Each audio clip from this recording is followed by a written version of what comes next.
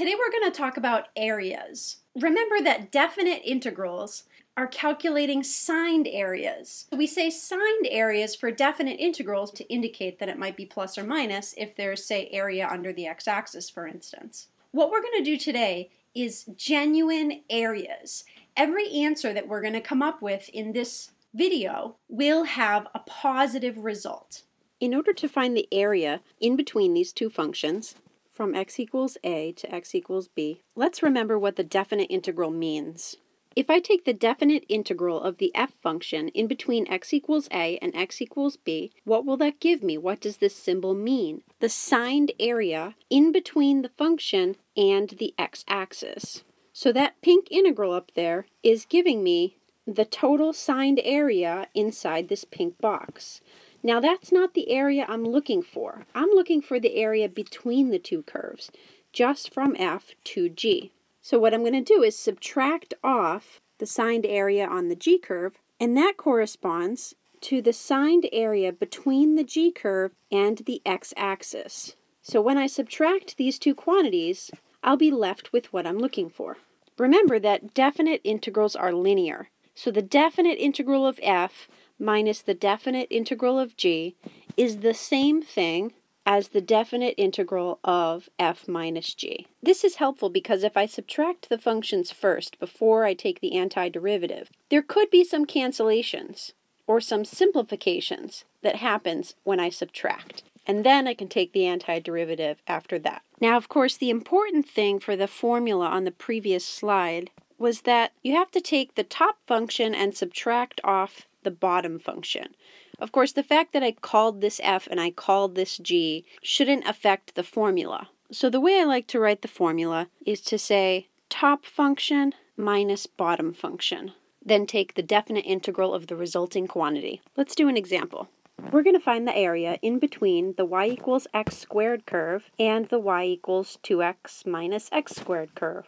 Notice that there's no mention of what the a and b values are. We're going to figure it out. Let's draw the y equals x squared curve. What does the graph of 2x minus x squared look like? That's the same thing as negative x squared plus 2x, so it must be a parabola downwards. And it crosses the x-axis. The height of the function is 0 if x is equal to 0 or if x is equal to 2. I'm looking for this area in here, inside the two curves. It's the 2x minus x squared that's on the top. So we're going to take the top function minus the bottom function. What are the a and b values wherever the two curves intersect? In order to find these x values, I'm going to set the two functions equal to each other and then solve for x. So I get 2x squared minus 2x equals 0. And finally, factor. The a value is x equals 0, and the b value is x equals 1. This is what we're going to calculate. Let's do it on the next slide. Take a careful look at what you're doing before you take the antiderivative. There's two x squareds in here, negative x squared and another negative x squared. It'll be to my advantage if I notice this and simplify it beforehand. That'll save me some work. Now I can do the power rule on each piece, then plug in my limits and subtract, and finally get the answer. So the answer here is a third. The area here we just calculated is a third. Next, we're going to find the area in between the sine and cosine curves. So here's cosine, and here's sine. As you can see, if I look in between the two curves, I get a lot of area. This is why it's important in this problem that the x values are specified. Otherwise, we're going to have an infinite amount of area because there's a bunch of these little segments. We should go just from 0 to pi. One portion of the area is this little pizza slice, and then we have another area over here. The first piece has the cosine function on top and the sine function on the bottom. The second piece has the sine function on top and the cosine function on the bottom. So we're going to have to do this in two separate pieces. What is the x value that separates these two regions? What x value makes cosine of x equal to sine x? At the point in the middle here, where the cosine graph hits the axis, that's the same point where the sine function hits its peak. Not the one we're looking for, but it's a start. This point is pi over 2. The point where they intersect is pi over 4. On a 45-45 right triangle, the sides of the triangle are 1, 1 square root of 2. Cosine of pi over 4, that's adjacent over hypotenuse, so that's 1 over square root of 2. If I take sine of pi over 4, that's opposite over hypotenuse, which is also 1 over square root of 2, right? So we see that if x is equal to pi over 4, sine and cosine are equal to each other. So finally, what are we doing here? We're going to take the definite integral from 0 to pi over 4. My top function is cosine, and my bottom function is sine. So that'll give me the first piece. In order to get this second piece, I'm going to have to do a different integral. And of course, the second piece goes from pi over 4 up to pi. And in the second region, it's the sine function that's on top and the cosine function that's on the bottom. So let's calculate this. Because the definite integrals have different limits, and they also have different functions inside, this is cosine minus sine, this is sine minus cosine, there's no way to combine these two. The antiderivative of negative sine Remember, that's cosine. The derivative of cosine is negative sine. I'm just going to keep integrating. So now I should plug in and subtract. Remember, we plug in the top limit, and then we plug in the bottom limit, and we subtract. Similar over here. Remember that the cosine function starts at a height of 1. So cosine of 0 is 1. Cosine of pi over 4, if you remember, we figured this out a couple slides ago. That's 1 over square root of 2. Cosine of pi is negative 1. Remember, the sine function starts at 0. Now, since we've got minuses here, a minus times a minus, these just become pluses. We've got 4 1 over square root of 2's. Here we have a minus minus 1, which is a plus 1 over here. And here we have a minus 1, so those guys cancel. So this is the area between the sine and the cosine function from x equals 0 to x equals pi. Let's do another one. We're going to find the area in between the absolute value function and x squared minus 1. So the area I'm looking for in between absolute value and x squared minus 1. Now because this graph is symmetric, what I can do is just find the area on the right hand side and then multiply it times 2. I don't have to write absolute value if all of the x's are positive. So I'm just going to write x. Now the function on the bottom is the x squared minus 1 function. Now what are the limits of integration? Clearly the left limit is 0, or the a is 0. What is this limit? The b value.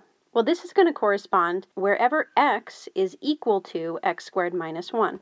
So I should set x equal to x squared minus 1 and solve for x. Remember that in order to solve for x for a quadratic equal to 0, you can either factor or use the quadratic formula. This polynomial is not easy to factor, so I'll use the quadratic formula. The quadratic formula has given me two answers. Which one of these is my b value on the definite integral? If I mark, this is of course where the parabola goes through the axis. It looks like my b value must be 1 plus square root of 5 over 2. So my limits of integration here are 0 and 1 plus square root of 5 over 2. What's up with this other number? If we look at the full function y is equal to x, and look at the full function y is equal to x squared minus 1, what we can see is that there's two points of intersection. So this intersection point is 1 plus square root of 5 over 2. That's the one we want. And this intersection point over here, this happens at x is equal to 1 minus square root of 5 over 2. And that point is irrelevant for our problem. So now let's calculate this.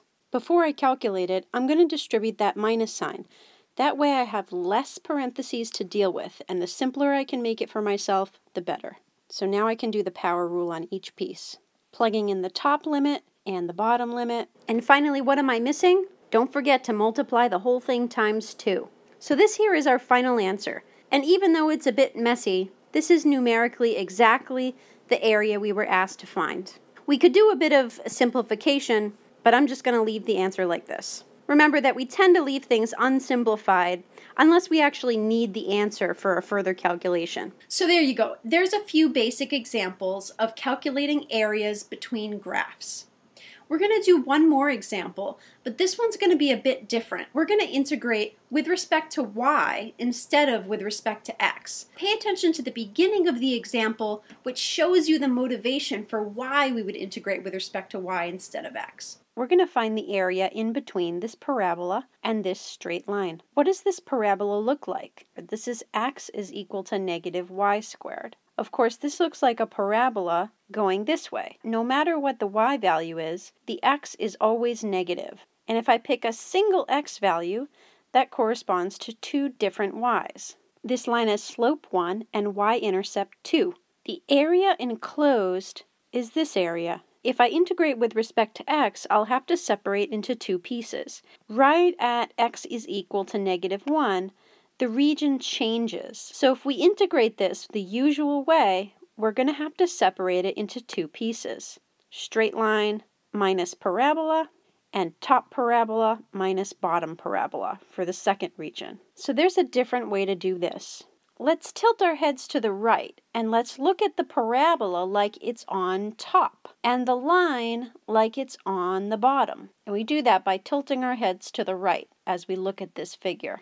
From this different perspective, the top function is x equals negative y squared. And from this new perspective, I'm plugging in y values and getting x values out of the function. So here, it is essential that I have x as a function of y instead of y as a function of x. And now my bottom function I'm going to move the equation around so that, again, I have x as a function of y. So over here, I'm going to have x is equal to y minus 2. So this change in perspective, tilting my head to the right, what that does is now I'm thinking of the y-axis as my input and the x-axis as my output. The integral I can calculate is the top function minus the bottom function and I'm going to integrate with respect to y. y is now what x was before. Now let's address the limits of integration. What should the numbers be?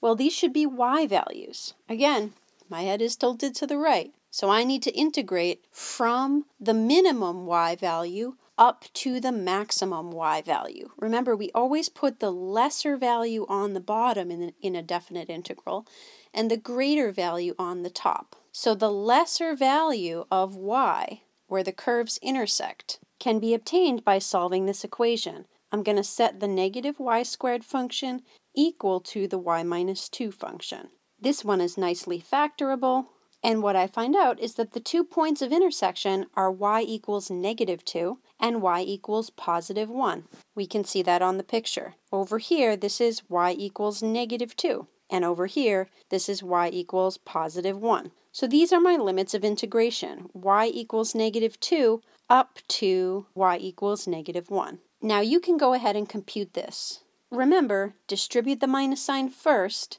then do the power rule on each piece. Try to keep your work as simple as possible. The final answer here is 4.5. So the area enclosed in this region is 4.5. So that's a brief introduction to areas. We're going to talk about some extra examples in class. So be sure to take a look at the book before you come to class.